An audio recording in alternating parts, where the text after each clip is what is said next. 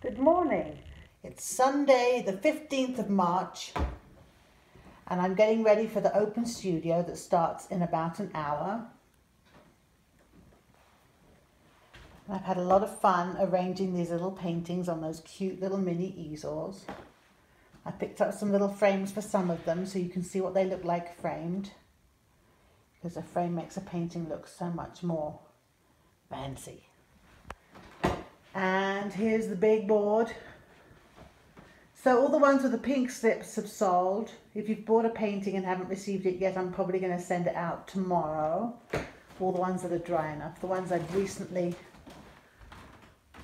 painted will be wet for another few days.